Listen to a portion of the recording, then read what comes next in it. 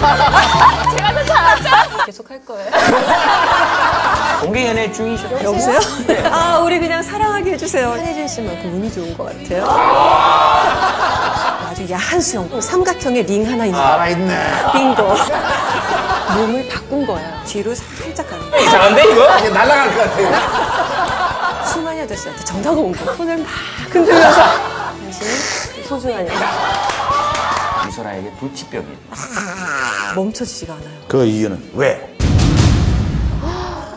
오늘 밤새 녹화도 되나요? 술 먹다가 사실 이제는 말할 수 있다. 미스코리아. 또 여자를 프로그램이나 있어요. 밤의 황제.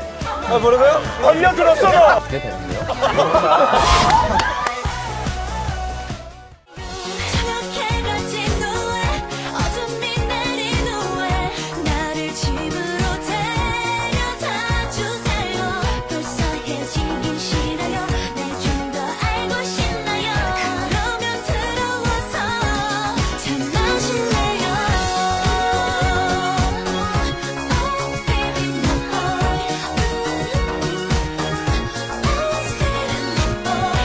프로그램에 참여해주신 분들께는 건강기능식품 녹시초 삼채, 먹는 동안 즐거운 더 후라이팬, 남성 뷰티 케어 전문점 블루클럽에서 백화점 상품권을 드립니다.